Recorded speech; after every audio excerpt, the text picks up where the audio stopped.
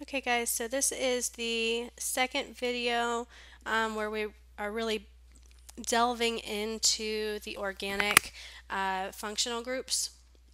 So again, we're going to be classifying, drawing, and naming structures of organic compounds, and then we're going to be talking about the properties of those different compounds.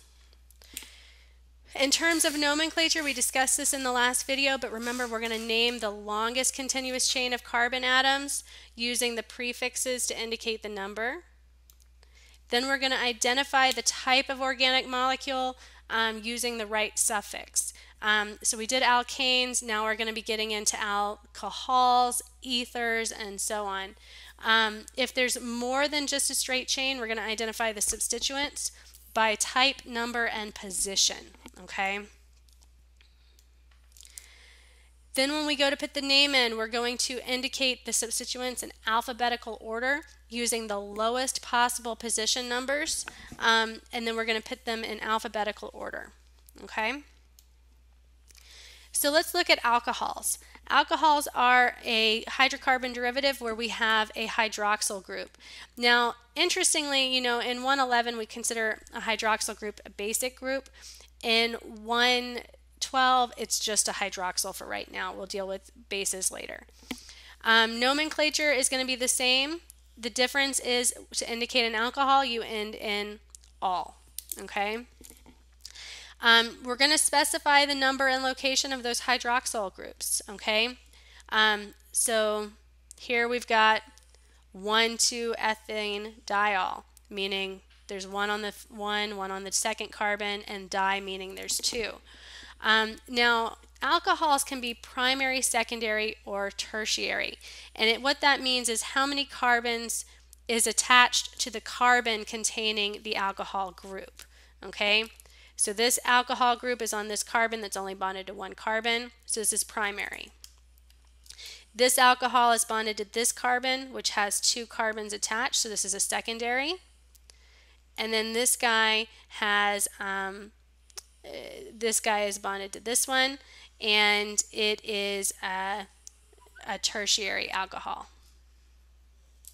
Now, the real difference here is um, that it is going to have some influence in the reactions.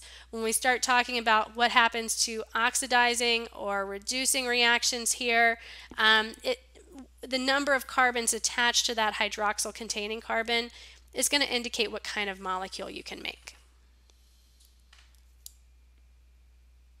Come on. There we go. So if we look at the IUPAC name of these, this is a one, two, three, four, five, six carbon chain. So this is cyclo, hex, and I only see single bonds, so it's ane but there's an alcohol attached. So this is really cyclo, hex, and all.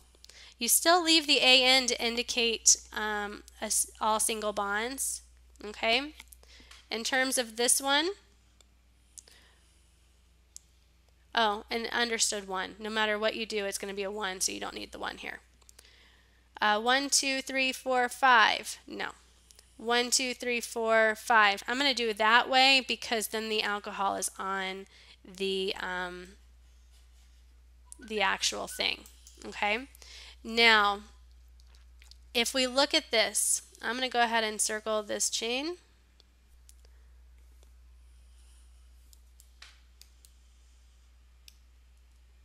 Keep. Okay, so when you are naming this, you want to do it the exact same way. And so we're going to count to get the lowest possible number.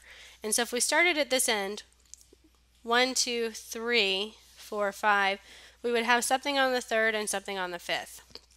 Counting from this direction though, one, two, three, four, five, gives us something on the first and something on the third. And so you want to count from this direction. Okay, so what that's going to do is we know we have our longest chain is pent, all single bonds. There's an alcohol group on um, this first position, okay? And Then we also have this ethyl group that is on the third position. And so putting this all together, we have 3 dash ethyl. Then because we need to specify the number of the alcohol group, we're going to say dash 1 dash pentanol. We drop the E so you don't have pentan eol or something like that. Down here, one, two, three, four, one, two, three, four. It's going to be the same regardless of which direction we count in. And so we have one, two, three, four, five, six, seven. Is that right? One, two, three, four, five, six, seven. Yep. Now, what that's going to give us is we know, it, okay, we know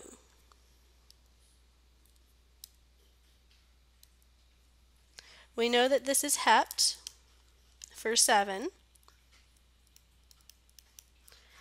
All single bonds.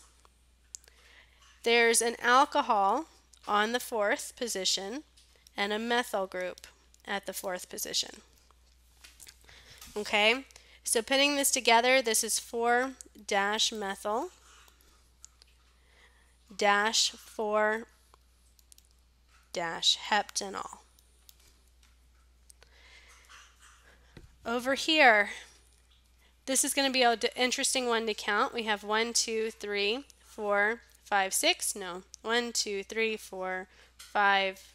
Mm, no. One, two, three, four, five, six. Okay, so it is. It's going to be six. Now, I'm going to count trying to get the alcohol the smallest position possible. One, two, three, four, five, 6. Okay? I have an ethyl group on the 3, a methyl group on the 4, and an alcohol on the 2.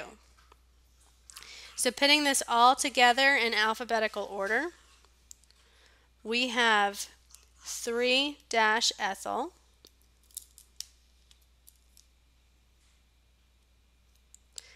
dash 4 dash methyl,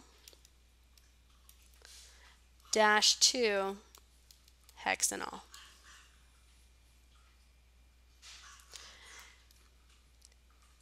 Longest chain here, one, two, three, four.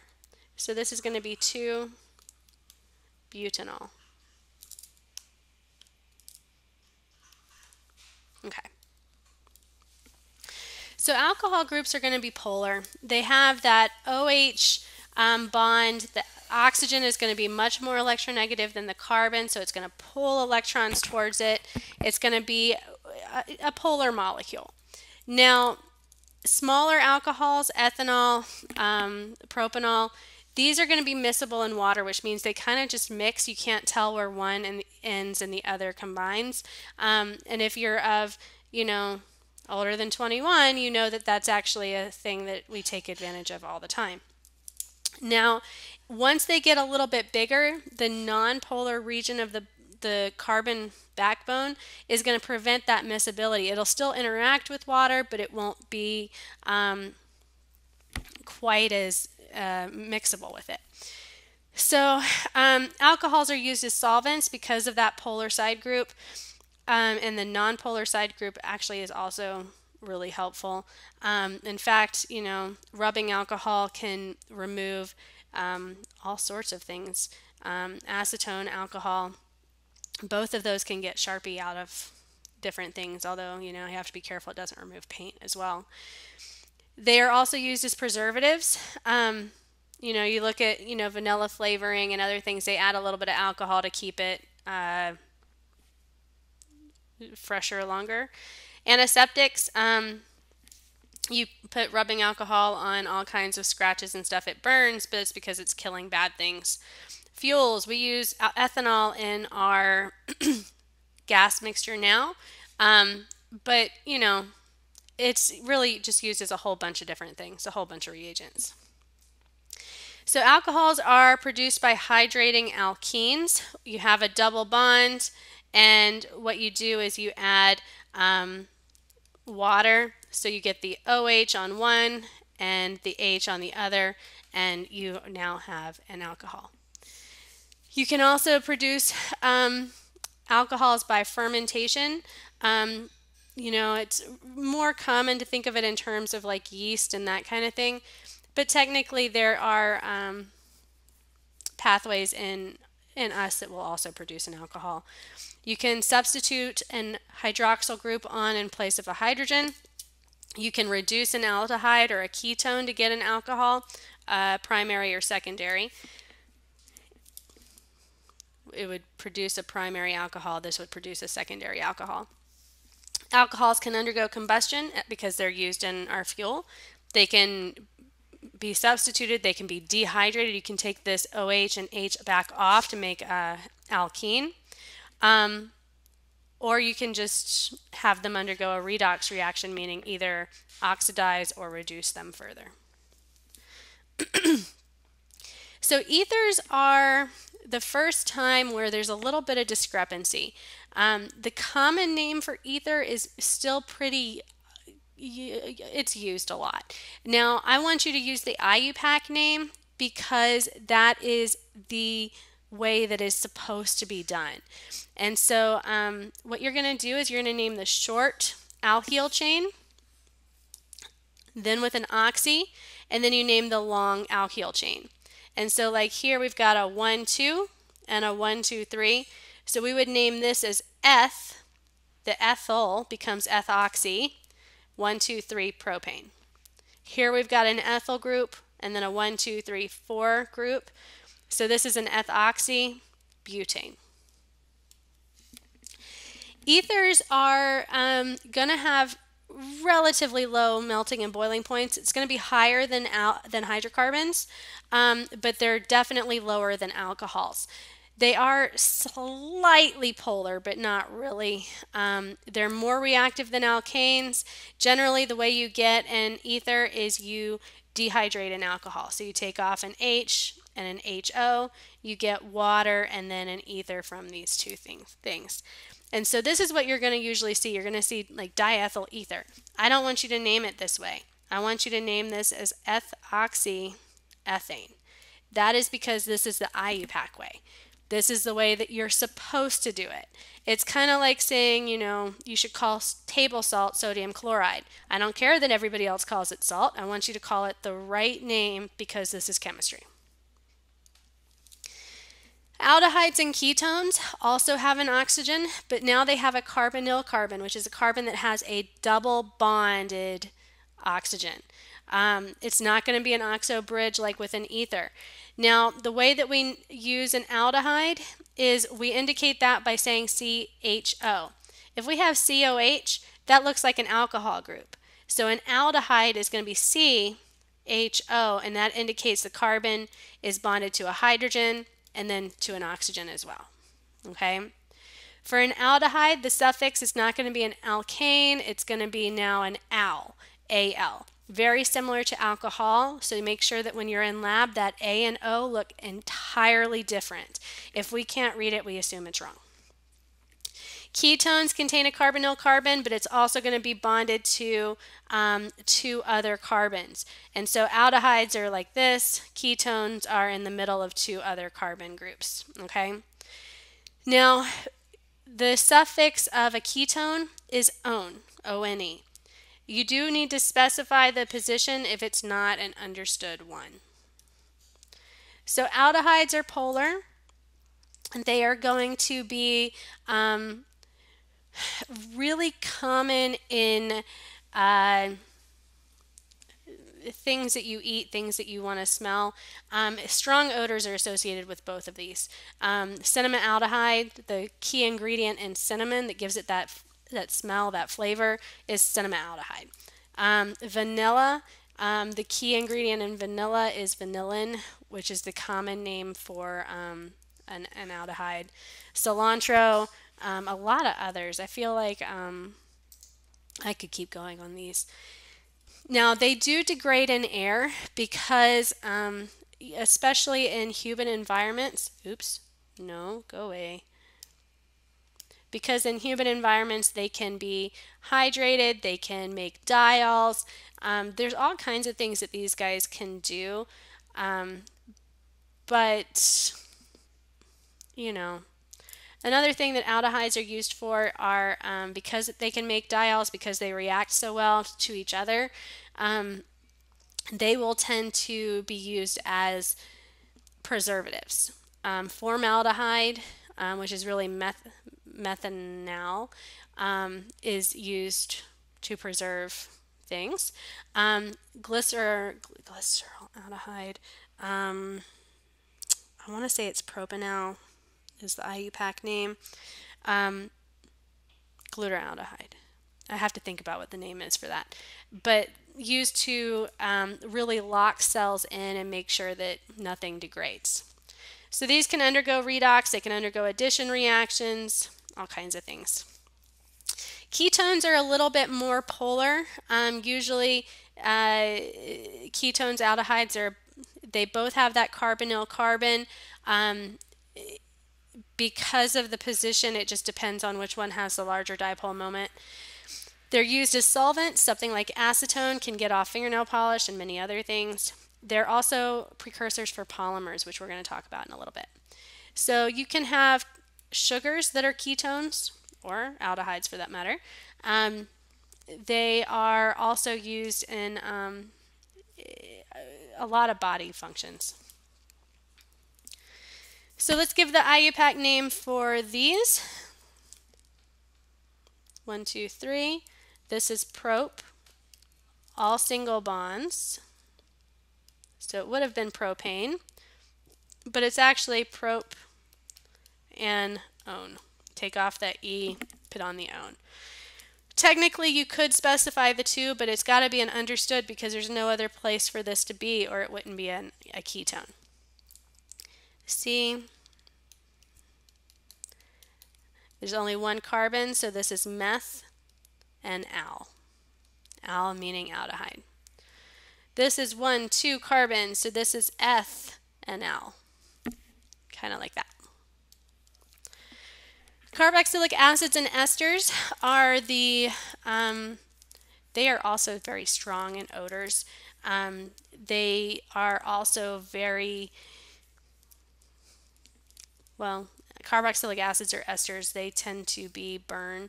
Uh, they they are well, okay. So methanoic acid right here. This is the key ingredient in those red ant bites, um, the ones that blister up and you get a blister for a few months. That's methanoic acid.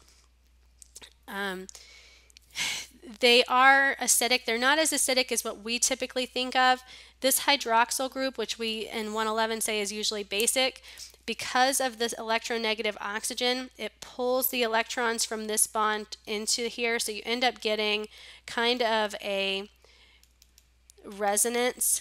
And so you end up getting a partial double bond character and this hydrogen can break off. And so about 1 to 5% of that hydrogen, um, of the molecules will lose that hydrogen as an acidic proton. In a condensed structure, we write this as COOH. And what we're going to do is when we name it, we end with oic acid.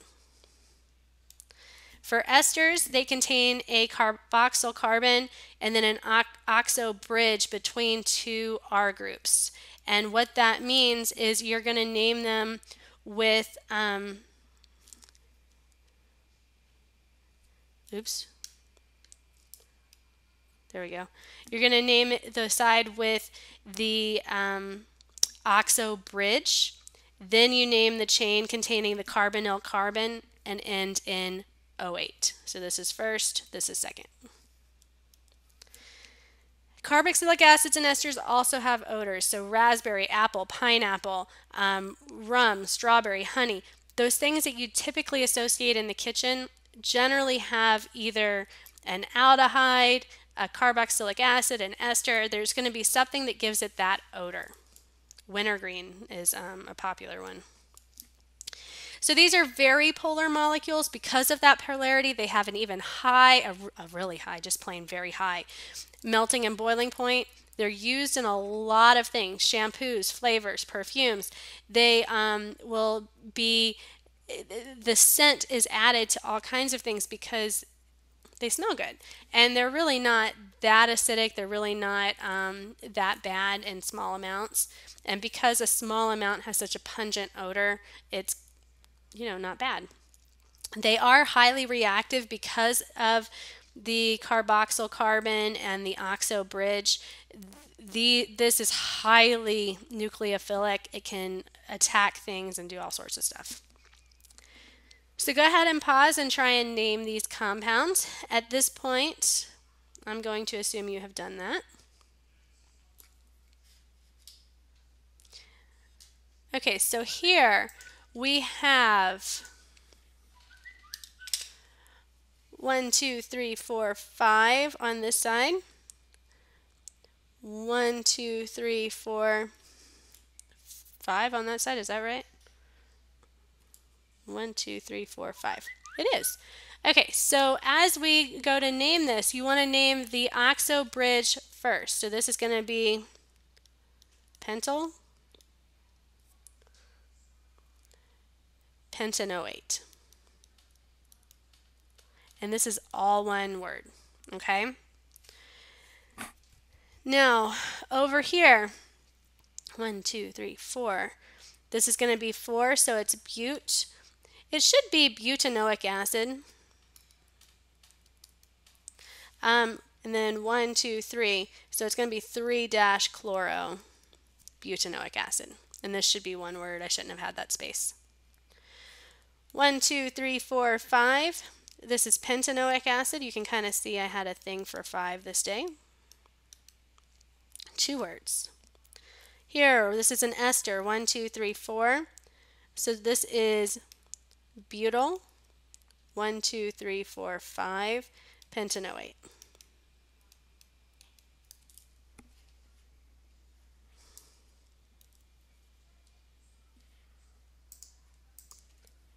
Now, at this point, we've talked about a whole lot of um, organic, organic molecules that have an oxygen attached, okay? Um,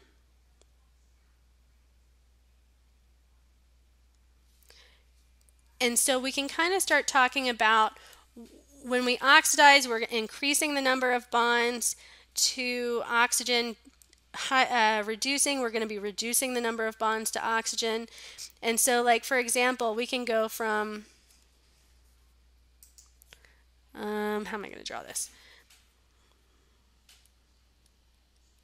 An alkane, we can add an oxygen to get and two, three, and alcohol. We could oxidize that further to get an aldehyde, okay? And so it really allows us to um, discuss how these things could happen. Now, if we oxidize this and it was a secondary alcohol, oxidizing this further, two, three, four, is going to now be a ketone. And so secondary alcohols oxidize to give um, ketones, primary alcohols oxidize to give aldehydes. And so we can really kind of get uh, specific about how the oxidation reduction of these is going to happen. We can also talk about how you can further oxidize an aldehyde to give a carboxylic acid. And really, guys, the way I'm going to write this is I'm always going to do COOH. I don't like that uh, too because I don't want there to be any um, question of how the oxygens are bonded together. Okay? Now, last classification of organic compounds are amines and amides. Amines and amides both contain a nitrogen. Amines have a nitrogen with some number of hydrogens attached. They can be primary where there's one carbon group attached. They can be secondary where there's two carbons attached, or they can be tertiary where there's three carbons attached. Honestly, you name the um, alkyl substituents in alphabetical order, and then you end with amine. So this is methylamine, dimethylamine, triethylamine. If this was um, CH2CH3, it would be ethyl dimethylamine. Now, because amides are going to have a, a double bond, a carbonyl carbon attached, you typically have an amide group that looks like this. These are most common in proteins. We typically stay away from amides in terms of drawing just because it gets kind of complicated. But amines and amides are important for biofunctions, specifically with amino acid and protein linkages. They can also be used in dyes. They're really big in drug design. Um, there is something about that amine amide linkage that just really works well with our neurotransmitters. Okay. So here's kind of my flashcard slide. You know, if you really want to memorize these um, groups, I would go ahead and make sure that you have some kind of indication of how to uh, write these, but it's up to you how you study. So now just to kind of make sure that we are on the same page, let's do a couple of slides of practice. Provide the IUPAC name for the following. If at this point, again, I would hit pause and try to do it that way, but it's totally up to you. So this is 1, 2, 3, 4, 5, 6, 7. 1, 2, 3, 4, 1, 2, 3, 4. Either way, it's going to be the same for the alcohol, but this is shorter from this way. 1, 2, 3. So this is 3-methyl.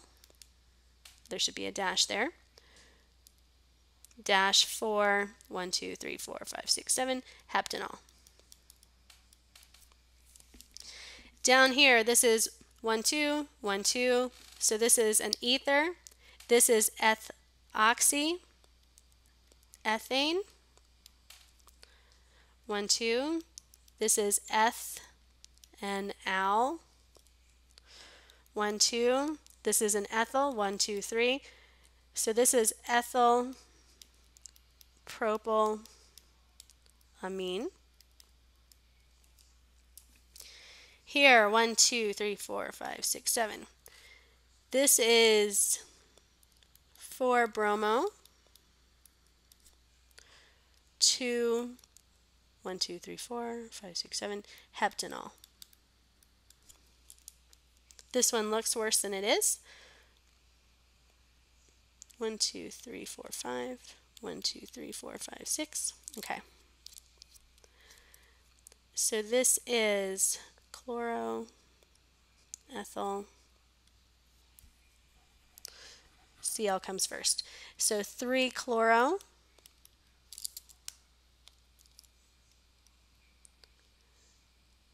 4 ethyl, one, two, three, four, five, six, um, to hexanol. And that should be a dash in there, so let me rewrite that part.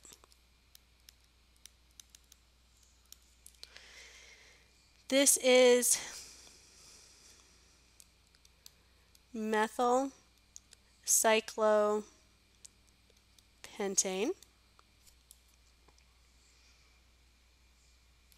One, two, three, four. One, two, three, four, five, six.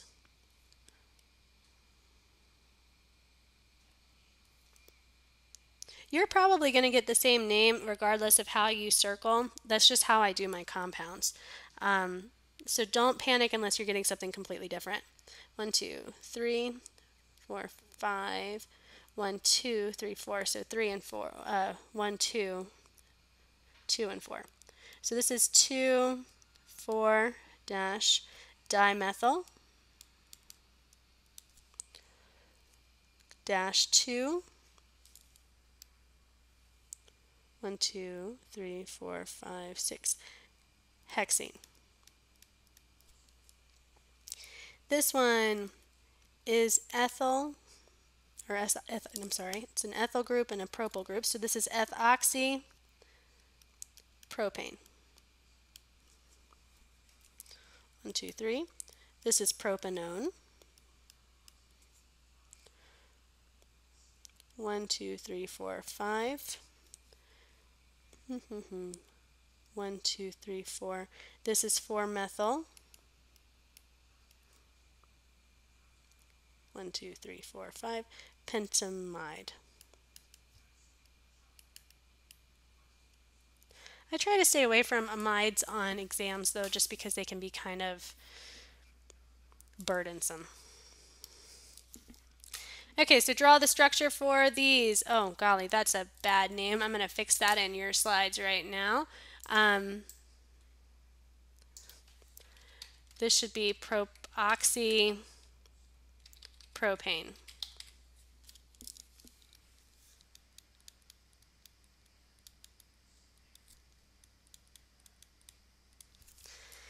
Okay, so here,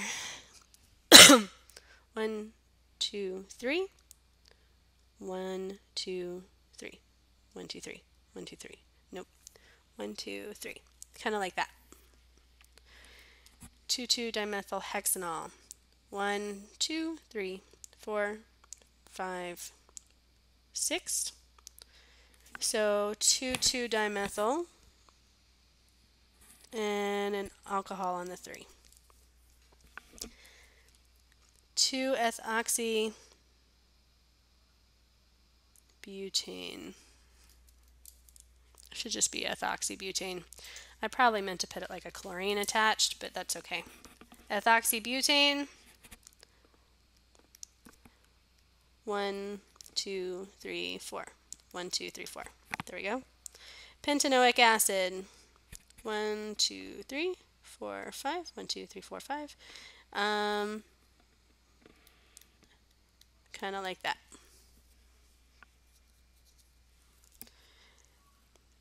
Ethyl methylamine.